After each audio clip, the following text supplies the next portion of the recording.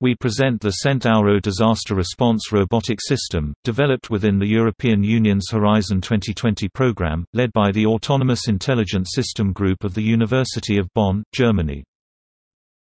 In March 2011, the disaster in Fukushima Daiichi nuclear plant evidenced the need for robot deployment in real-world scenarios.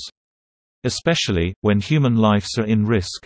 However, this accident also showed the reality gap between the robot capabilities and the real-world requirements. Robots could have played a key role in this disaster response, but they were not ready. Robots acting in these human-made environments, require a wide repertoire of locomotion and manipulation capabilities. For instance, in the industrial plant presented in the picture, robots need to overcome stairs, ramps and to navigate through different terrains. Manipulation skills are required to interact with objects in their surroundings. Operating tools or removing debris in the path are frequently encountered tasks, that need to be solved. In the Centauro project, we developed a disaster response system which consists of the highly flexible Centauro robot and suitable control interfaces.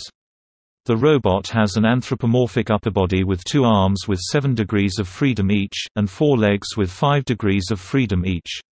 All legs ends with steerable wheels providing driving capabilities to the platform.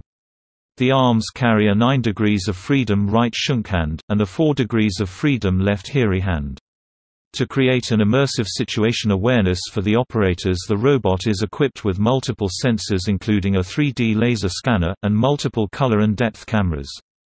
With fully extended legs, the robot has a similar height as a human. It weighs 92 kg including the battery which allows for an operation time of 2 hours. The maximum driving speed reaches 1.6 meters per second. The robot is designed to be commanded remotely from a safe place for the operators. The interfaces include an immersive telepresence suit, and support operator controls on different levels of autonomy. The picture on the left displays an operator wearing a head-mounted display for immersive situation awareness, and an upperbody exoskeleton to control the robot. Other teleoperation interfaces include a 6D mouse for limb control, and a joystick for omnidirectional driving as depicted on the right. Complex operator arm, wrist, and hand motions can be intuitively transferred to the robot by the telepresence suit. The 6D end effector poses of the two arms are computed and sent to the Centauro robot as references to compute joint values through inverse kinematics. The hand exoskeleton modules track operator finger motions and provide grasping force feedback. In order to reduce the high cognitive load on the operators, some tasks can be delegated to autonomous modules, for instance, to navigate to a target location or to grasp a tool. We developed a locomotion planner that combines omnidirectional driving and stepping capabilities in a single graph search-based planning problem. Point clouds are processed to height maps to finally generate cost maps. This pipeline is enriched by parallel terrain class computation. With all this information, the robot finds a path to circumvent the gravel.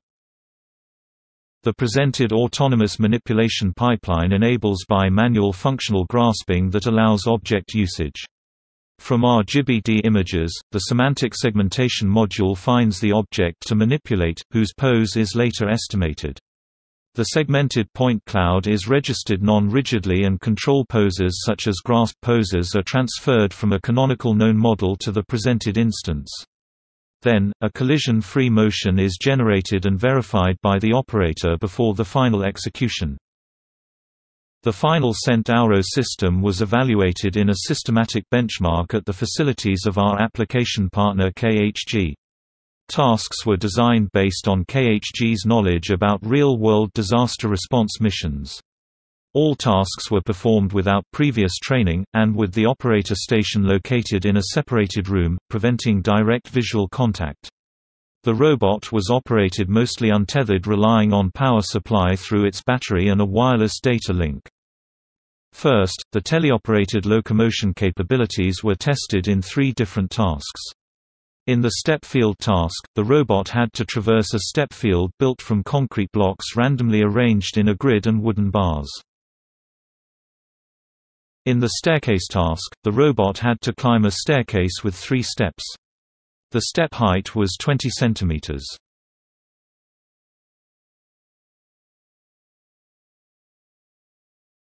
In the gap task, the robot had to overcome a 50 cm gap. A neutral referee rated the goal achievement of the tasks. Since the system had research demonstrator status and the evaluation was the first time all required components were integrated, three runs were permitted for each task of which only the best run was rated. The table shows the success rate of each task together with the execution time. The robot manipulation capabilities were evaluated in six different tasks. In the fire hose task, the robot had to connect and to disconnect a fire hose to a nozzle.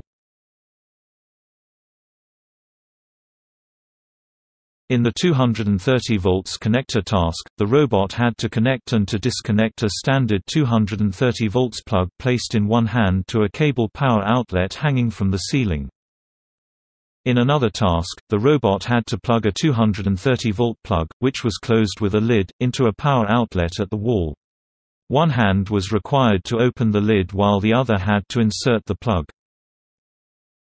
In the shackle task, the robot had to fix a shackle to a metal ring at the wall. One hand had to position the shackle around the ring while the other hand had to insert and turn a screw.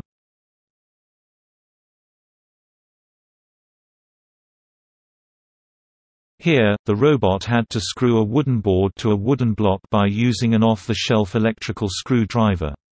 The wooden board with pre-mounted screws was held with the HERI hand. Finally, the power drill task demonstrated the operation of a bi-manual tool by making holes at marked places into a wooden block. The table shows the results of the six manipulation tasks. Three tasks combined locomotion and manipulation. In the first one, the robot had to pass a locked door.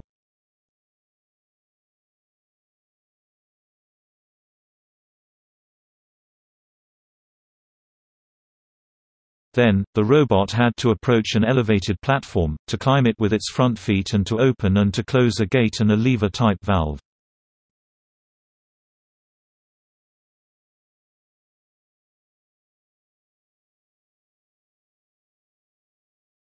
Finally, a pipe star consisting of five short pipes with different orientations was placed on the ground. Each of the pipes had to be grasped at the top. This task is used by KHG to evaluate real-world mobile manipulation platforms. Autonomous control functionalities were evaluated in two tasks. In an autonomous locomotion task, the robot started in front of a patch of debris and some obstacles. A two-step staircase ending in an elevated platform was positioned behind the debris with the goal pose on the platform. In the autonomous manipulation task, the robot had to detect an unknown, bi-manual power drill on a table in front of it, to grasp it with both hands, to operate the trigger, to lift it, and to put it back on the table. We presented the final state of the Centauro system consisting of the flexible Centauro robot and a set of operator interfaces including a telepresence suit. We demonstrated the system capabilities to solve challenging, realistic disaster response tasks in a wide range. We further showed that neither pure teleoperation nor pure autonomy are desirable for controlling a complex robot in such challenging tasks. Instead, a set of control interfaces which address different tasks and support the operation on different levels of autonomy provides intuitive control and flexibility. The Centauro system constitutes a significant step towards the support of rescue workers in real-world disaster response tasks, eliminating the risks to human health. Thank you for your interest.